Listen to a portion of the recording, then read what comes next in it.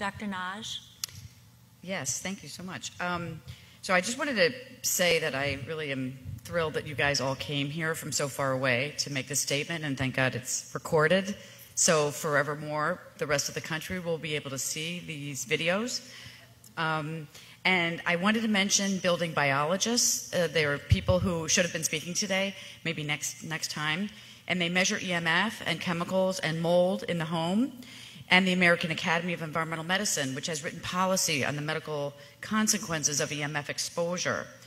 And that in my practice, we see, uh, as well as with uh, Dr. William Rea in Dallas, that mold exposure is the leading cause of damage to the membranes, the voltage gated calcium channels, that then makes people electrohypersensitive.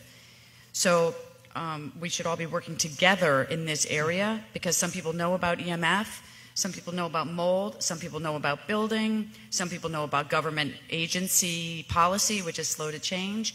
And the idea is that by being invited to these types of meetings and being allowed to participate, we will be able to enhance education nationally. Thanks so much. Wonderful, Lisa.